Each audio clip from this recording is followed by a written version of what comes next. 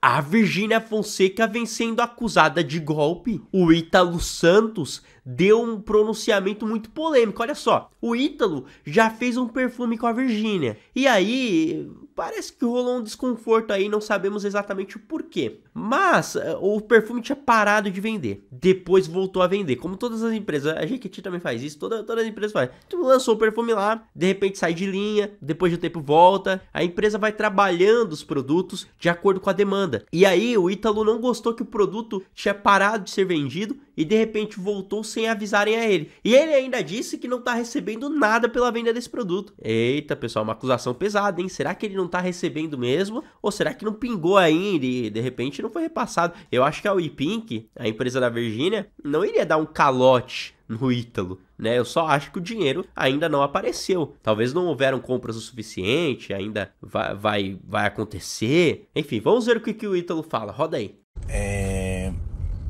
É... Ah, na época do Cancelete também lancei o perfume, que vocês, graças a vocês, a ideia. Aí agora o perfume voltou a, a tá, tá vendendo aí, eu nem sabia. Até porque também, né, desse perfume aí tem um. Tá bom, deixa esse perfume pra lá.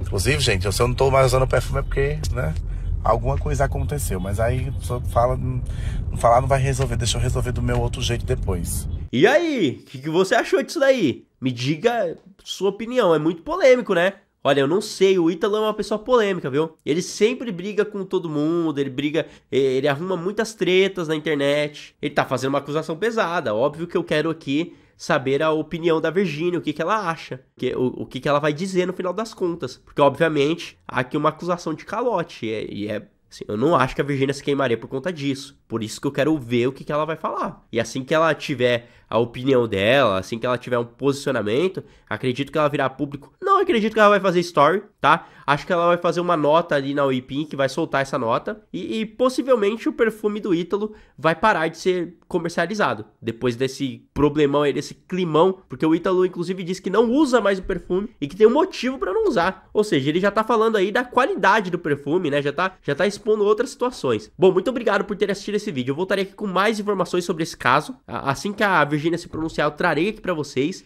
E vamos, vamos, vamos, vamos para cima, né? Vamos, vamos, vamos entender essa história. Até uma próxima e tchau.